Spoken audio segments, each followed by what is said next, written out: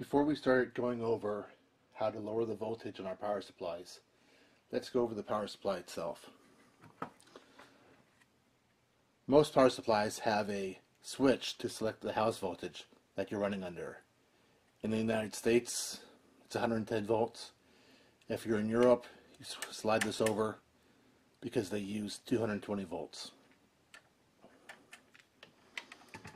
Some power supplies don't have a switch.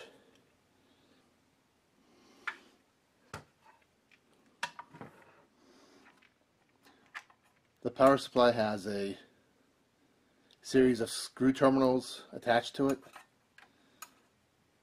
Starting from the right hand side, you have your live wire, your neutral wire, and your ground. You then have three terminal screws. That is your negative power, or negative. Then you have three terminal screws, that's for your positive line. Then you have a screw that you, we use to adjust the voltage. The recommended voltage for LED lights for a 12 volt light strand is 11.97. For the 5 volts, the recommended setting is 4.97. Some vendors will lower the voltage for you Others, like Amazon, you just get the power supply and you have to do it yourself. Always check.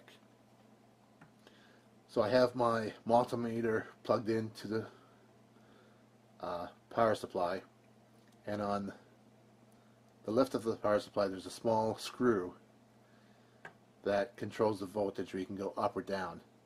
So I use my small screwdriver, go counterclockwise until I get to the setting that I want for my lights.